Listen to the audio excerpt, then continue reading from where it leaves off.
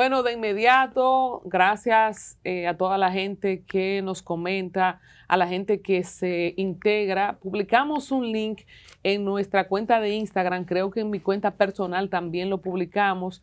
Y si no es así, pues vamos a hacerlo chicos en esta hora para que la gente se eh, sume a nuestro grupo de WhatsApp. Tenemos un grupo exclusivo de WhatsApp de una nueva mañana donde ustedes pueden recibir contenido específico para eh, que puedan estar alerta a la hora que abrimos, estrenamos contenido y a la hora que empezamos en vivo.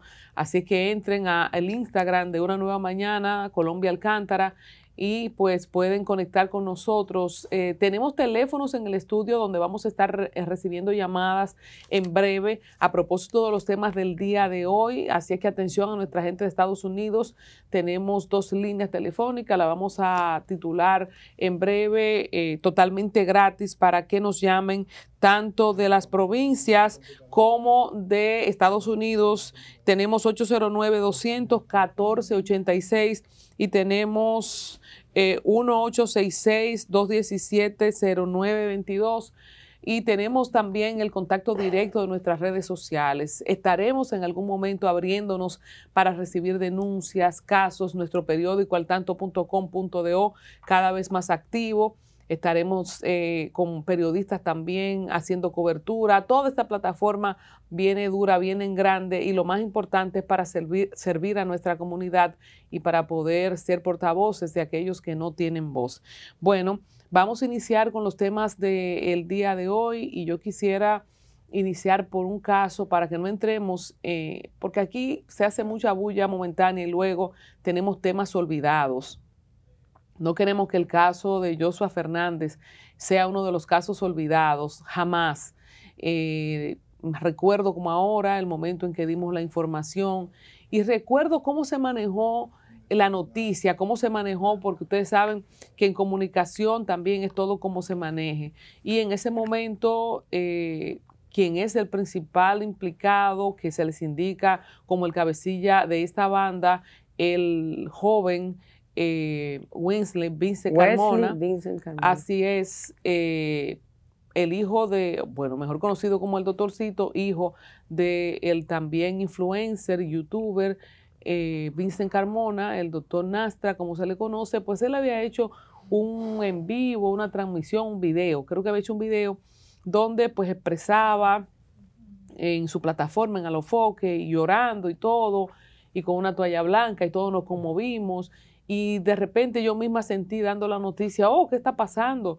¿Y quién es la verdadera víctima de todo esto? Porque la forma en que se manejó, pues obviamente, y hacemos sintonía que estimamos muchísimo al doctor Nastra, su fracaso como padre, como él mismo decía en ese video, que no es necesariamente total responsabilidad de los padres el camino que tomen los hijos. Pero bueno, haciendo esta, este introito, eh, de cómo la opinión pública primero manejó la noticia, luego fueron saliendo datos, el mismo miembro de esta plataforma, el señor eh, Ramón Tolentino, estaba dando seguimiento a este caso sin saber que estaba involucrado el hijo de uno de sus compañeros. Bueno, cuando nosotros vimos a la madre de Joshua Fernández y yo volviendo al tema propio mío en el comentario, yo dije, recuerdo que ese video se hizo viral, eh, ¿quién es la víctima? O sea, la víctima es esta madre, la víctima es este joven que perdió la vida, eh, que lo había hecho bien, nosotros le fallamos como sociedad, decía yo,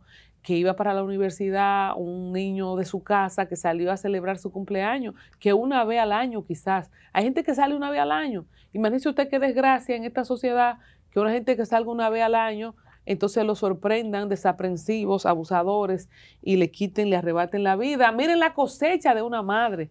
Y yo que estoy criando ahora, mi hijo tiene cuatro años, después que, son años muy difíciles, el caso de Yamel, de Vargavila, que también eh, son padres, eh, y que ya tú entregues tu hijo a la sociedad con 18 años, que ya se va a integrar a la universidad, y entonces te arrebaten esa cosecha o sea, ya era tiempo de toda esa siembra, de ella ver una cosecha, ya entregué a mi hijo a la sociedad, ya mi hijo es un hombre.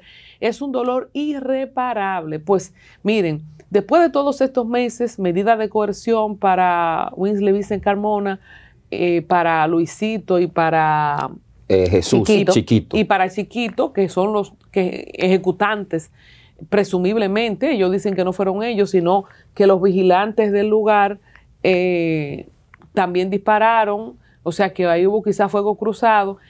Eh, entonces, ese es el cuadro.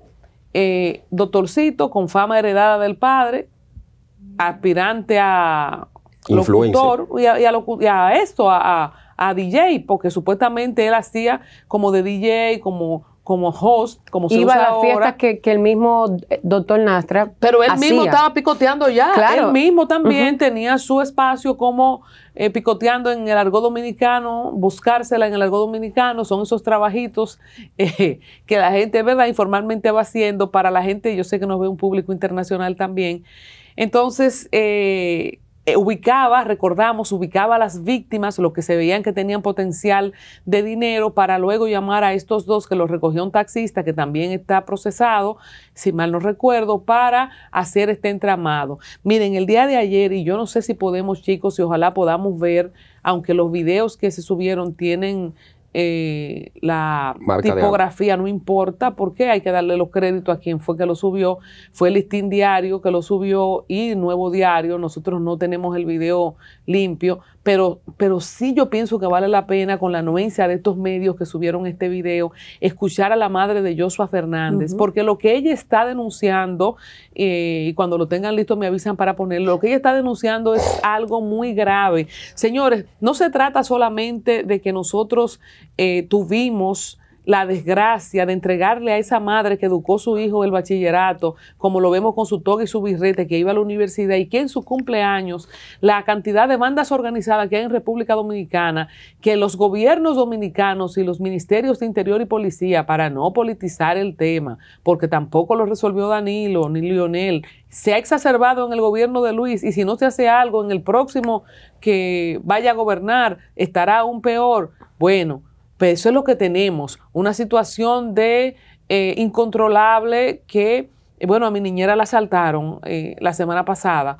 O sea, a cualquiera aquí, eh, Juana, una de nuestras colaboradoras, aquí mismo en Piantini, a una esquina la iban a asaltar. Aquí no se puede tomar vehículos públicos, taxis. Tú no puedes estar en Ni andar a pie. Ni andar a pie de ninguna manera, ni, pero para montarte en tu carro, montate huyendo. Las madres que tenemos niños en cargadores, ya usted sabe, estamos en manos de Dios. Yo le digo al Señor que me ponga un ángel. Pero imagínese usted que esa señora que perdió a su hijo ahora está recibiendo amenazas por eh, teléfono y por Instagram específicamente, diciéndole que ella tiene más hijos. O sea, no es solamente que le mataron ese hijo, sino usted tiene más hijos que se lo podemos matar. Porque este, esta- estos eh, bandiditos, eh, estos delincuenticos eh, de redes sociales, porque todo está vinculado, porque también lo ubican los perfiles por redes sociales, sufren de eso. Y cada vez que tú te metes con alguien de ese entorno, o sea, aquí el mundo urbano, con todo lo que eso implique, no me refiero necesariamente a la industria musical, sino al movimiento de cultura urbana, son en este momento eh, como si fueran terroristas. Terroristas, tú no puedes decir ni ji de esa gente. Y ahí, ahí hay cantidad de casos que podemos mencionar, como el de Fausto Mata y otros comunicadores y personas, o te tumban la cuenta, o empiezan a programarte, o te hackean la cuenta. Entonces, precisamente por redes sociales están amenazando a esta señora para que deje eso así. Eh, los, chicos ya. van a, a- a cada uno, eh, Vargavila y Yamel, a decir otros datos a propósito de la audiencia, de lo que fue, pero yo quiero circunscribirme a esto. Yo quisiera ser escuchada. Yo quisiera que mañana, cuando me toque hacer este programa, yo pueda decir que ya hoy el jefe de la policía, el ministro de Interior y Policía, o el Ministerio Público, la misma doña Miriam Germán o Jenny Berenice, llamen a esta mujer, le den protección y le den una formalidad a este caso. Nosotros no podemos venir aquí en una semana a dar otra noticia que a esa mujer le pasó algo o que a los hijos de esa mujer le pasó algo, porque entonces sí es verdad que tenemos que irnos no sé para dónde. ¿A dónde iremos entonces si el país está en manos no solamente de gente de poder, de estructura organizada, de sabandijas? Porque son un ladronzuelo, sabandijas. Vamos a escuchar este video para cuando regresemos dar todo el recorrido de lo que fue esta audiencia donde el doctorcito buscaba la variación de medida de coerción y qué es lo que la madre fehacientemente tiene la, antorcha en la mano y dice que prefiere morir antes de abandonar esta causa de su hijo. Y ustedes saben cómo la, la justicia de aquí, mala, tarde, lenta y cara.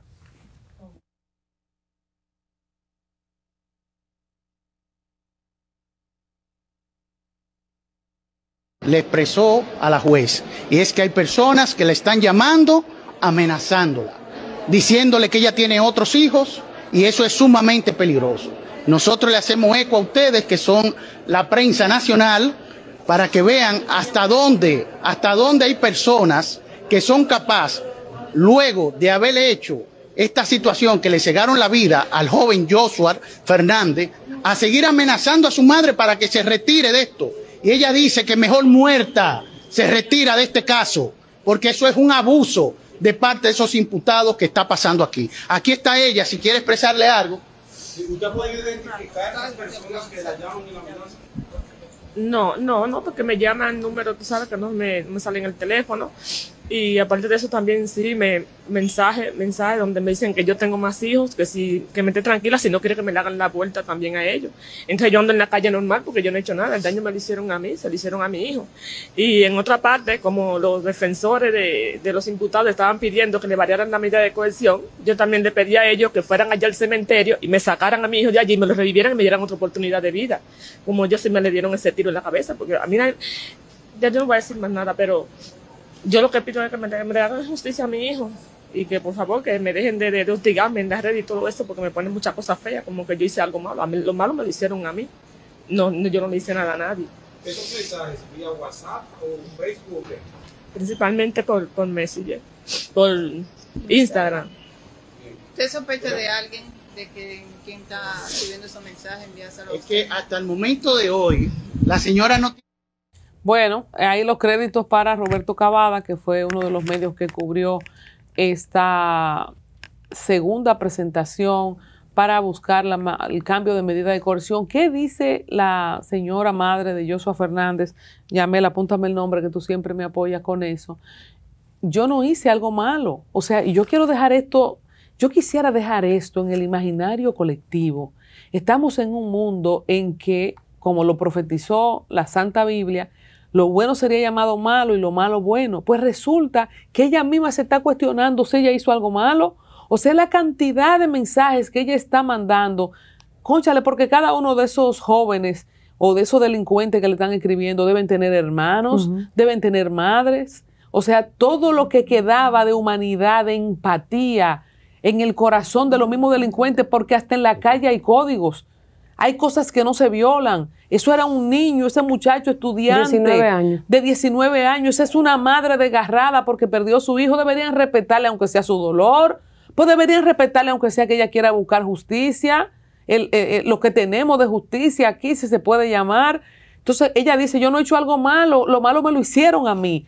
O sea, ella está entrando ya en un, eh, pienso yo, en un evento psicológico que ella dice, pero ven acá, ¿Y en qué mundo es que yo estoy? No, tiene que ser que ella misma no entiende lo que está pasando. Pero, pero ¿cómo es posible? Entonces, eh, al final, lo, como seguí el video ahí antes de interrumpirlo, era que si ella sospecha de alguien, oye la pregunta del periodista, pero ella no tiene enemigo, ella no tiene enemigo. ¿Cuáles son los enemigos de ella ahora? Los relacionados a los tres que están presos. Colombia, pero vámonos más lejos. Su hijo no tenía enemigos. Al hijo que le mataron a Bertina de Sena, que es el nombre de la madre de Joshua Omar Fernández, no tenía enemigos, un muchacho sano que estaba enfocado en estudiar, que se había graduado, que acababa recientemente eh, de cumplir años, de cumplir sus 19 años, eh, poquito antes de lo que sucedió en el bar nocturno Kiss Bar en Naco. Eh, bueno, pues él estuvo por ahí y apenas un muchacho como dije, sano, que estaba enfocado en trabajar y en ayudar a su madre, que ella misma estuvo diciendo todos los planes que él estaba haciendo, de cosas que le quería comprar a ella, a la casa, aportes que él quería hacer a su casa, obviamente por, por las necesidades que tenían, ahora que ya él estaba graduado y que iba a empezar a trabajar. Sergio Maldonado y Jean Christopher Pérez son los abogados de la familia de Joshua Omar Fernández, el lamentablemente fallecido Y pues luego de que ya han transcurrido en dos ocasiones, se ha tenido que revisar todo lo que tiene que ver con la medida de coerción, que sabemos que cada tres meses hay que revisarla. Eh, pues en esta segunda ocasión la jueza Altagracia Ramírez del cuarto juzgado de la instrucción del Distrito Nacional tomó la decisión de rectificar la prisión preventiva de Wesley Vincent Carmona, mejor conocido como el doctorcito. Yo recuerdo que eh, nosotros estuvimos hablando hace ya un par de semanas aquí con un abogado que siempre nos acompaña, principalmente los viernes, y es el abogado Billy Jerónimo, y estuvimos hablando del caso del doctorcito eh, y de que él entendía que iba a pasar al momento que se conociera nuevamente, que, que llegara este proceso de revisar la medida de coerción, la prisión preventiva, y él decía que podía existir la probabilidad o posibilidad de que eh, lo mandaran para su casa en buen dominicano con obviamente que le pusieran su grillete electrónico, eh, visita, visita, periódica, impedimento de salida, etc. ¿Qué pasa? Hablábamos ese día de que lamentablemente, porque tuvimos una persona que nos llamó, recuerden que eh, tenemos llamadas en el día de hoy, alguien nos llamó ese día y nos dijo que a los pobres no se les pone grillete y no se les da prisión domiciliaria. Y ahí el abogado nos explicaba del precio de los grilletes electrónicos y entendíamos que como, ¿verdad? Lo que nosotros, hasta la información que tenemos, que el doctorcito puede pagar un grillete electrónico, o más bien su padre, el doctor Nastra.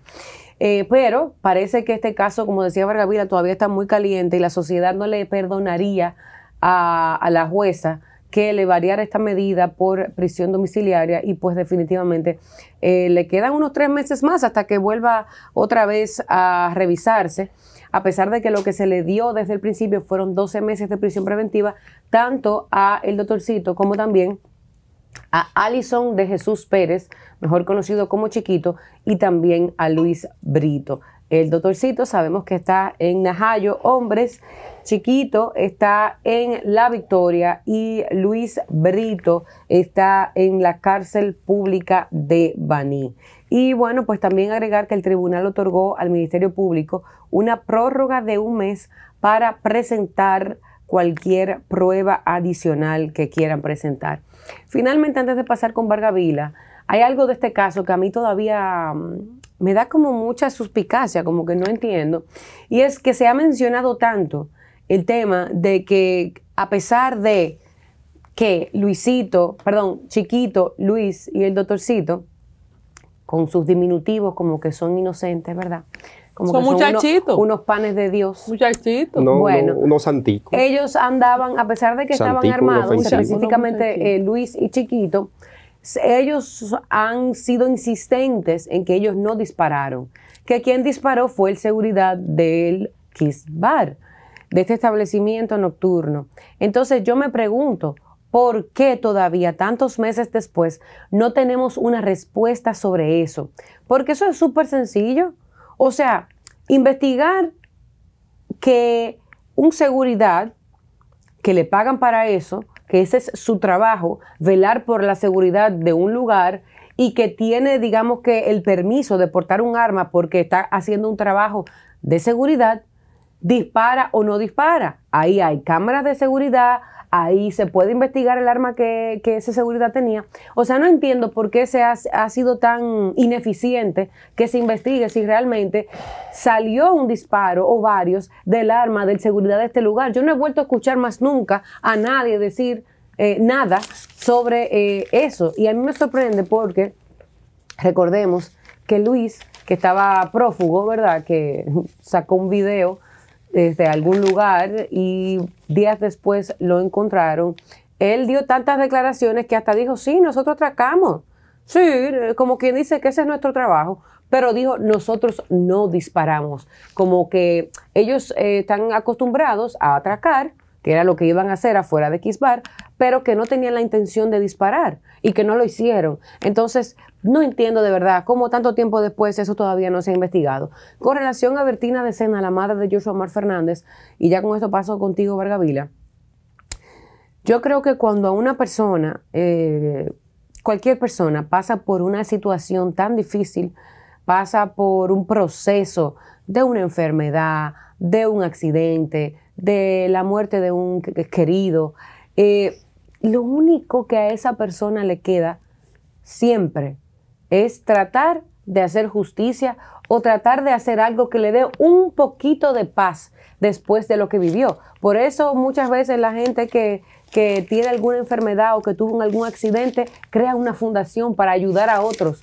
a que eso no le suceda, porque es un poquito de, de, de, agua dulce para, para el dolor que esa persona tiene. Entonces, caramba, como decía Colombia, vamos a dejar que esta señora viva su proceso y que ella pueda llegar a un punto, es lo que yo per- personalmente quisiera, que ella pueda llegar a un punto donde su dolor no se vaya, porque no se va a ir, porque se fue su hijo y como ella dice, no lo pueden sacar de la tumba y darle otra oportunidad pero que su dolor pueda apaciguarse un poquito y ella por lo menos pueda sentir la satisfacción de que ella hizo todo lo que ella tenía en sus manos para hacer justicia por su hijo. Mira, eh, llamé el máxima, país y mundo. Aquí la desesperanza y la pérdida de la confianza en el sistema de justicia lleva a que muchos ciudadanos hagan justicia por sus propias manos. Algo con lo que nosotros no estamos de acuerdo, porque si estamos en un Estado de Derecho donde hay garantías, aunque sea en papeles, en la mayoría de los casos, no así en la praxis. Pero fíjense, el caso de Winslet Vincent Carmona, el doctorcito, eh, eh, el caso de Chiquito, de- del otro que está implicado, y que ahora están presionando a doña Bertida de Sena, una madre desesperada, angustiada, que no encuentra qué hacer porque le han cegado la, vi- la vida a su vástago, un hijo en el cual ella había cifrado todas sus esperanzas como un ente de presente futuro de bienestar y que podía darle movilidad social a esa familia que eh, eh, es la matriarca doña Bertina de Sena y que por estos desalmados, bandidos, le quitan la vida, criminales, y que ahora están buscando todo tipo de alegatos para evadir la justicia. Entonces, eh, aquí, y debo felicitar, debo saludar esa decisión de la jueza de la Corte de Apelación del Distrito Nacional, que le ha tocado revisar esa medida de coerción a estos imputados porque ella se está colocando, además de que hay muchos elementos, hay muchas evidencias que incriminan tanto al doctorcito, a Chiquito y a Luis Brito, que es el otro que está involucrado, ella también se coloca en, el- en la posición de esa madre desesperada. Y he visto aquí gente en las redes sociales tratando de decir que aquí se está buscando dañar la moral o apañar la moral de el papá de doctorcito. No, aquí nadie quiere eso. Aquí lo que se quiere es que se haga justicia y que se investigue y se llegue hasta las últimas consecuencias. No se trata de dañar o dañar a nadie. Oh, pero la que está más dañada es Bertina de Seda y su familia, porque le han cegado la vida a su hijo, porque no volverá a tener a su hijo con ella. ¿Eh? Entonces, el doctorcito y los demás implicados, que se chupen ese bobo, que se chupen ese bobo, como se dice en el argollado y popular dominicano. Si usted la hizo, tienen que pagarla. Tie- Tienen que pagarla. Entonces, aquí voy también con el Estado dominicano.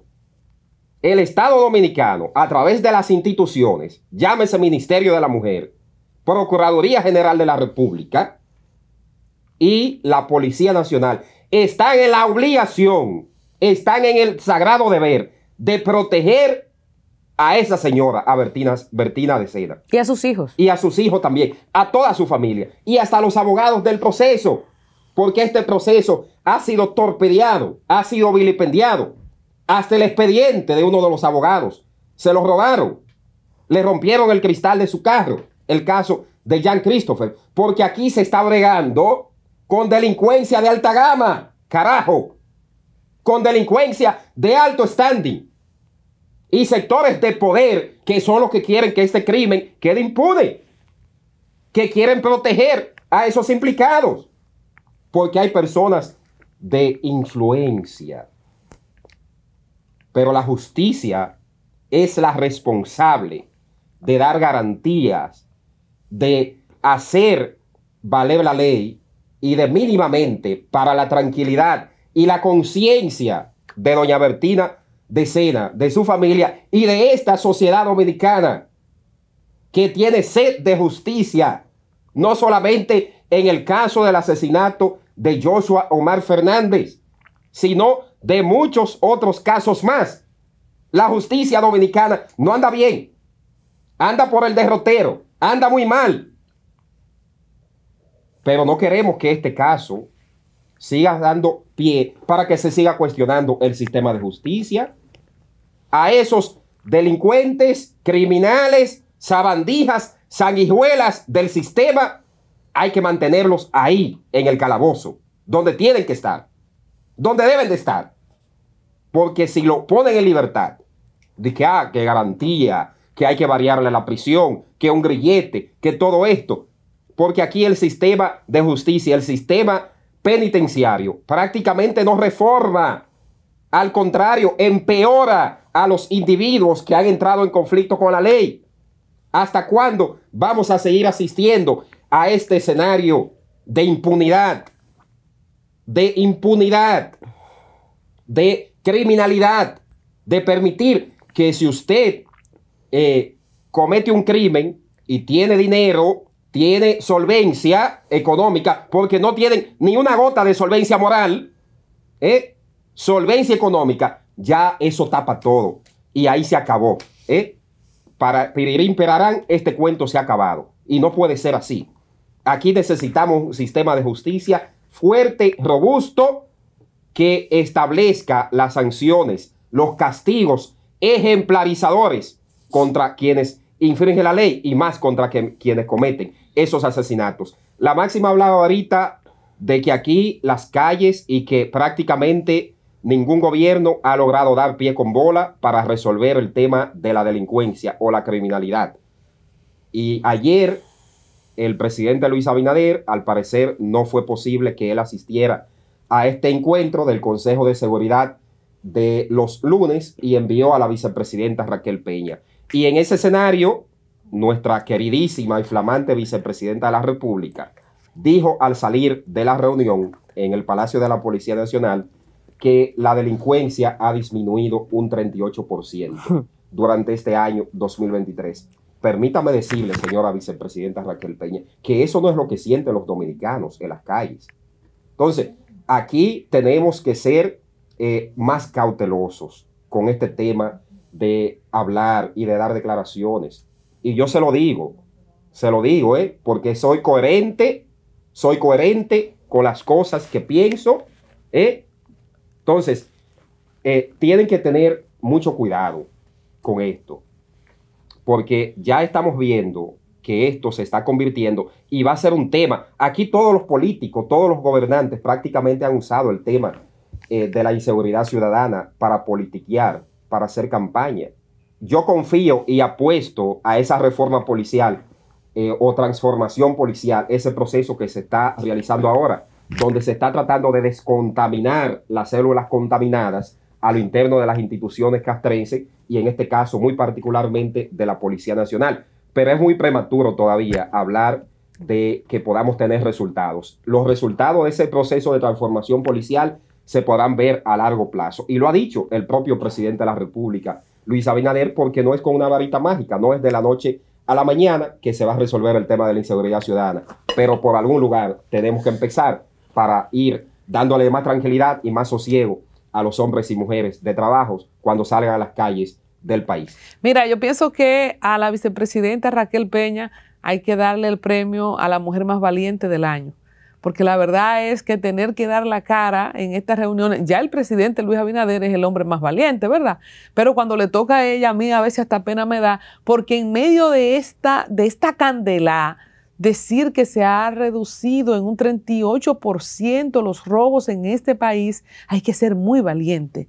Hay que ser muy valiente porque yo quisiera, y ahí están los teléfonos en pantalla, y que la gente nos llame a propósito del asesinato del joven Joshua Omar Fernández, de que la justicia, porque es que no deberían ni siquiera, bueno, es el proceso, no deberían ni pensar en cambio de medida de coerción. Recordamos que mientras el doctorcito está en la victoria, ¿verdad? Chiquito perdón, mientras el doctorcito está en Najayo, Chiquito está en La Victoria y Luis o Luisito está en Baní.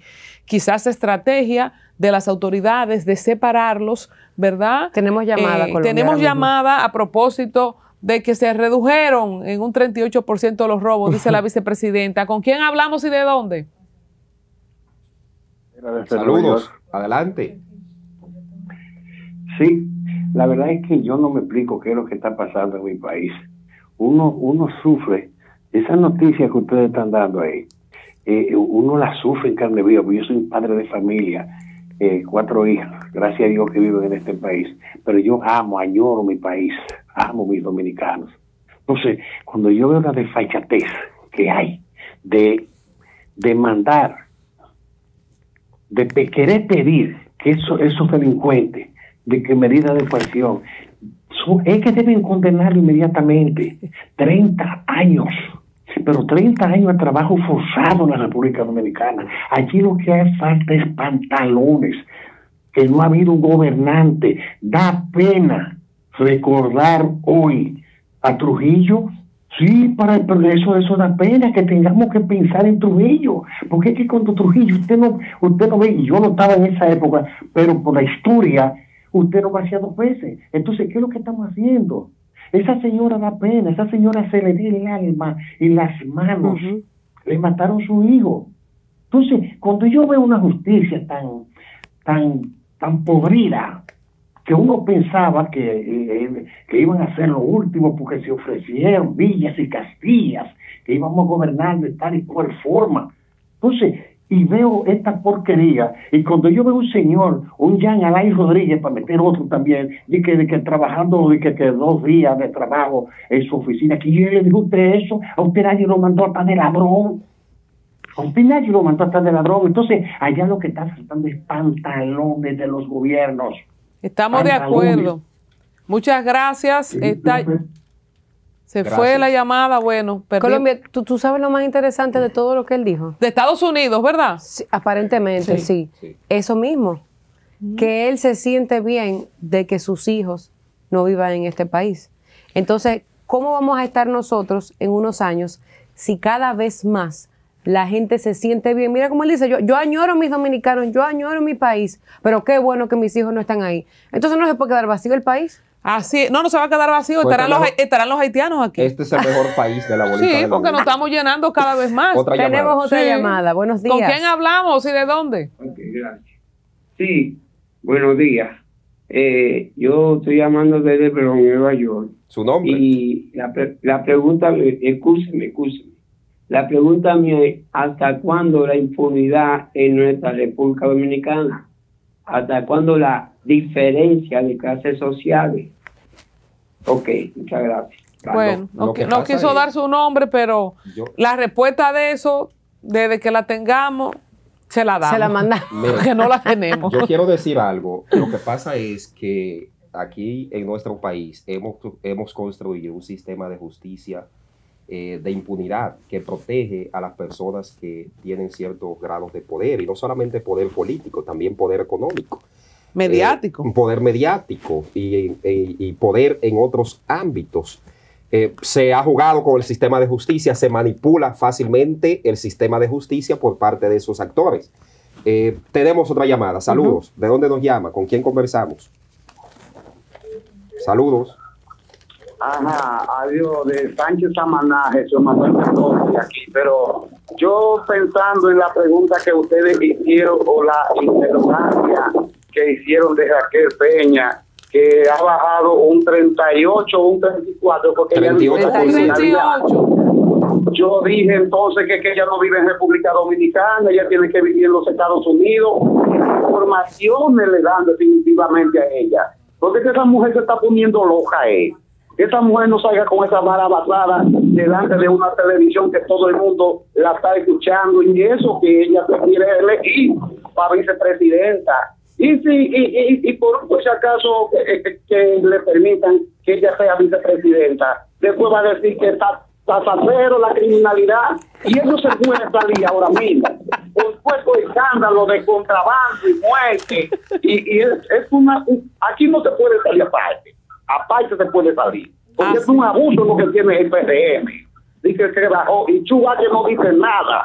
Nada dice Chubaque, nada. No, ¿Por qué? porque- Porque que le da vergüenza de Claro. expresarse delante de la gente con cosas que no son lícitas.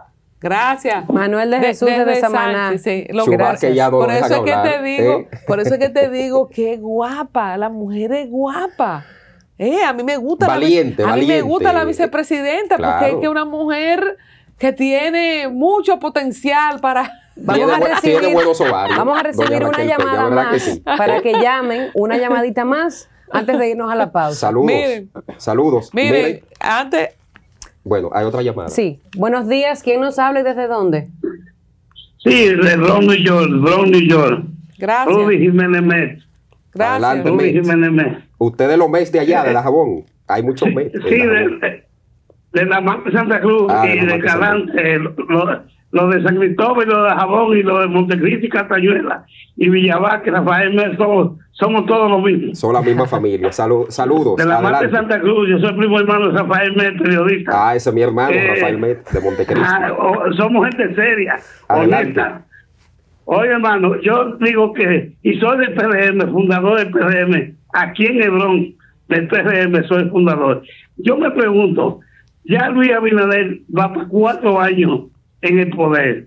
Tenemos un poder de, de- de una justicia independiente, entre comillas, porque el, el- soy de lo que estoy claro, que la, que la doctora Miriam Germán y Jenny Berenice no puede hacer mucho porque la justicia que está ahí está dejada por Leonel Fernández y por Danilo Medina. Y va a volver eh, eh, Leonel a ganar y, y la alianza de, de la maldad y la corrupción que hicieron para que vuelvan no al lugar de Félix Bautista y, y los jueces del PLD y los jueces de, de, de la Fuerza del Pueblo. Pero por favor, Dios mío, esta justicia tiene que hacer justicia y condenar a estos delincuentes que están ahí claramente identificados como ladrones. Porque ¿qué, tanta vuelta que se ve en República Dominicana para los ladrones condenarlos? ¿Qué Pero, tanta eh, vuelta días, hermano. Eso es lo que yo digo. Eh, Señor, ¿qué tanta vuelta vuelta que? ¿Pero qué tanta Pues, vuelta hay? Pero ¿y cuál es el secreto? Y yo me lo bendigo, usted tiene un programa, usted no sabe la audiencia que tiene. Usted me tiene a mí, que me tuvieron a botar el trabajo por estarlo mirando a ustedes. Yo le voy a decir, mire, oiga, yo, oiga, yo le voy a oiga, decir sí. cuál es el secreto Oiga. de la justicia. Perdone, si, si, si viene este infierno que llama Leonel Fernández, el papá de la corrupción PLDista, porque es el fundador de la corrupción. PLDista, o, o Dañino Mentira, o el Carita del Diablo, a ver que lo que era cajero en, casa en casa María, en la y después en la Sirena, y hoy es multimillonario del mundo. Eh, Mire, hay don que se Rudy, sepa irse de ahí. Que no me lo boten del trabajo. Eh, Sigue en coño, sintonía. Rudy Jiménez- Sigue en Rudy sintonía con. YouTube. Sí, Rudy Jiménez me, me Bron, New York. Bueno, gracias, pero Rudy. Gracias. la palabra. Bendiciones y buenos días, Esos San. Antonio son Dios- buenos y son liberadores por la mañana, Ah, hombre. antes de irnos a la pausa, yo quiero pero decir. perdóname antes de la pausa, don Rudy, usted se puede mover con su celular. Claro. El celular es móvil, no se vaya tarde a su trabajo. Usted lo pone ahí, Digo, no va casi me botan del trabajo por estar oyendo el programa. Claro, el sistema de justicia, usted sabe cuál es el secreto de que no condenan y no procesan a muchos delincuentes de cuello blanco en la República Dominicana, el blindaje que existe en el sistema de justicia, principalmente en el Poder Judicial, donde los políticos se han dedicado a narionear, a quitar y a poner los jueces de su preferencia, incluso hasta abogados profesionales del derecho, personales de ellos, lo han llevado a ocupar la más alta magistratura del Poder Judicial, la presidencia de la Suprema Corte. Pero dilo con nombre y apellido. Con nombre y apellido. Claro que Luis Henry Molina era el presidente del Indotel y de ahí salió a presidir. Miembro del la- Comité Central del PLD. y de ahí salió a presidir La Suprema la Corte. Suprema. Pero dígalo, pero venga acá, ¿hay qué miedo Aquí es? no hay miedo. Pero no venga miedo. acá. Ahora están enfrentados Jenny Berenice y Luis Henry Molina de nuevo y Miriam Germán por el caso de la uva y mano suave. Eso está por ahí. Están en contra de, ese- de, esa, de esa medida de puesta en libertad de Luis Ramos La Uva, eh, el jefe de bandas de Montecristi, y Mano Suave, que es su lugarteniente. Ahí están las declaraciones hoy de la directora de persecución. Vámonos a una breve pausa y regresamos con mucho más aquí en una nueva mañana. No se muevan.